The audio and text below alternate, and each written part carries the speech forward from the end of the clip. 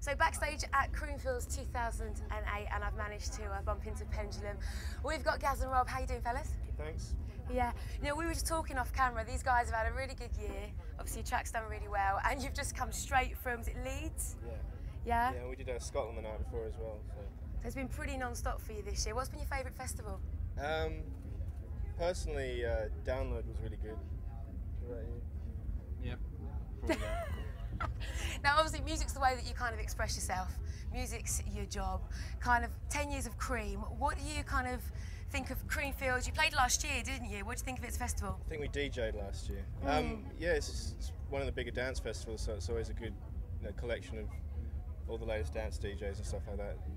You spot a lot of unknown people as well sometimes. Yeah. It's good. Yeah, I mean, 10 years has been going really well. Things are going really good. You guys have had quite a, a good year. What's kind of happening in the next couple of months after the festival season's kind of died down?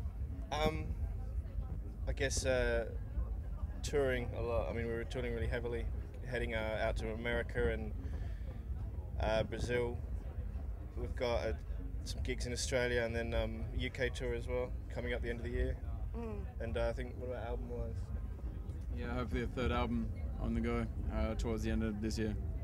Yeah, well, music, you know, music's your kind of life, it's your kind of job, it's how you guys express yourself.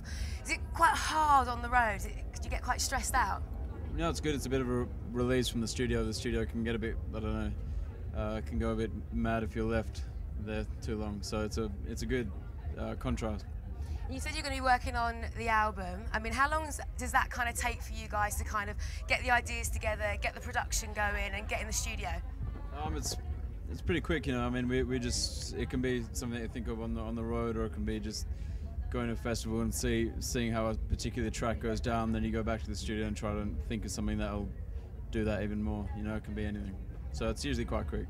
Where do you think like you guys are kind of heading musically? We was all talking, saying ten years of Creamfields has made us all realise, you know, how the music scene's changing. You've got the internet, you've got people being able to make, make tracks in the kind of their bedrooms. Like for you guys, what do you think's the future? Um, I don't know. I mean, for us, at the, at the moment, it's just touring and, and I guess I don't know. The future of uh, electronic stuff. Yeah, like the technology. I mean, do you think like is, is vinyl long gone? I mean, do you think it's going to come full kind of circle? What do you think? Well, I, I, I hope the more vinyl goes away, the, the more uh, the more interesting things will get. The less DJ-oriented things become, and the more electronic bands that start to actually play live and integrate instruments into their live performances, as opposed to just playing off uh, hard drives and laptops. I think it'll get a lot more interesting, and I think a lot more people will start doing that. Well, it seems a lot, there's a lot of indie bands starting to introduce electronic elements into their sets. It'd be good to see a lot more electronic bands going live. Do you think there's like possibilities of, especially with you guys, because you're saying DJing last year, performing this year? Do you think like there could be some collaborations with you guys and bands? Is it something you thought of in, for the future? Um, I don't know. At the moment, I, I quite like the idea of uh, doing some more band-oriented stuff with other electronic producers, such as I don't know guys like the Plumps or Liam from the Prodigy. I think would be quite interesting. Um, but down the road, if we have got a chance to work with some of the rock bands that we listen to, you know, day to day, we'd be up for it, definitely. What, what would be uh, what would be your ideal festival lineup? Like, who would you really like to perform? Like, think Dead Alive, whoever. Who would it be? Uh, I think, I think actually Reading has come yeah, pretty that, close that this year. lineup was probably the, one of the best lineups. Dropkick Murphys, Rage. Uh, Queens of the Stone Queens Age, of the Stone Age. all them. Yeah, amazing, amazing. And was Reading what you did last night, or is it we tomorrow? did Leeds, we got Reading tomorrow. Are you excited? Yeah. How do you guys keep going? Because it must be so hard on the road, on the road, on the road. I mean, you must get down at times. How do you deal with it? We come off the road. it's a good answer. Is there a particular, because obviously music's your life, is there a particular song that kind of like cheers you up in the morning? Um, A guilty pleasure? Uh, oh, what was that tune? Uh, Unskinny Bop by. uh, by Poison. That's the, that's the Yeah. tune of the moment. Is that what you're playing on the We bus play, and we, stuff? and we play it in the dressing room before we go on stage to pump ourselves up. It, it's it's that annoying that whatever mood you're in will take you out of it.